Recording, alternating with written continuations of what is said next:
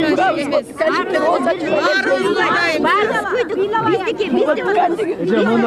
Бир нече миллиондогон сомдук товарларын өрт калдырып карайлап тургандар алардын үнүн угууга келген өкмөт мүчөлөрүн көргөндө эреркеп ыйлап да алышты ар бир сатуучунун өз көйгөйү бар баары өз маселесин чечип калууга ашыгат бири үстөк пайызы жок сууда берсе дешсе кээси товарлары менен кошо документтери өрттөнүп кеткенин айтып аны калыбына келтирүүгө ким жардам берет деп сурап жатышты бирок чурулдап сүйлөгөндөрдүн баарына жооп берүү мүмкүн болбой oluşturdu.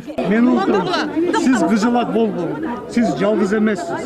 Сизди мына биз карап турабыз сиз кыжалак болбогу баардыгыңар кыжалак болбогула өрттө жабыркагандар ири зыянга учураган аз келгенсип иш ордуларынан да айрылган ага кошумча болуп эл көнүп соодасы жүрүшүп турган жеринен айрылып башка жерге көчүрүлөт экен деген имиштер аларды ого бетер күйүткө салган учурда алар берекет базарына кире бериш жерде кырк элекей тизилип өрттөнгөндөн калган товарларын сатып түгөтүү менен алек сатуучулар өкмөттөн буга чейин алган насыяларына бир аз жеңилдиктерди карап соода орундарын тезинен калыбына келтирип берүүнү талап кылып жатышты.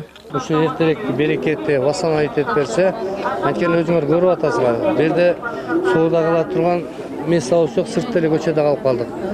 Тем более биздики оптовый баягы колбаса сыр эме болгондон кийин көчөдө турганга сатканга мүмкүнчүлүк болбойт башка жака кирейин десек арендалар өтө көтөрүп жиберди бияк күйгөндөн кийин место тартылыш болуп атат да. Азыр аренда канча болот арендалар эми почти жок болуп атат баягы мисалы үч миңге арендага бере албай жаткандар азыр резкий наличка сатып алышып атат а бизде наличка сатып алганга каякта акча даже нормальный товар алып чыкканга акчабыз жок болуп атса мында соода кылгандар ишти улантып кеткенге кандайдыр бир колдоо болсо дешет базардын жетекчилиги өрттөнүп кеткен жерди үч айдын ичинде калыбына келтиребиз деп убада кылышкан бирок азырынча күйгөндөн калган калдыктар да алына элек экен. Андыктан оңдоо иштерин тездетпесе оор болуп жатканын айтышууда.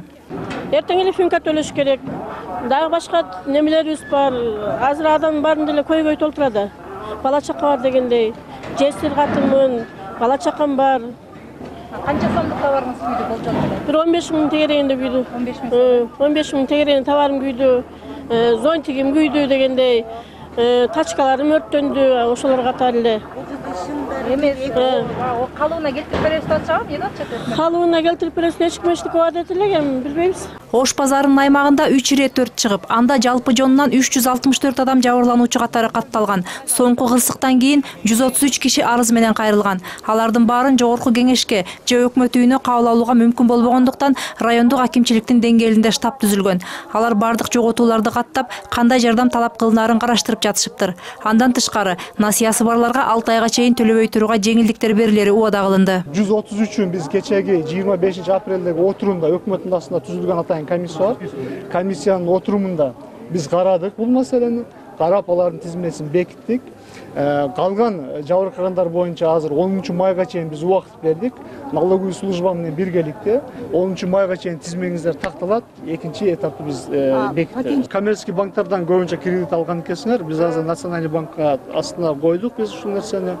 тактагандан кийин документтериңер бүт такталгандан кийин активерка болгондон кийин биз азыр алты айга чейин коюп бергиле деген талапты коюп атабыз жеңилдиктер ошондой эле сатуучуларды ош базары көчүрүлөт экен деген имиштер тынчсыздандырып жатканын айтышты.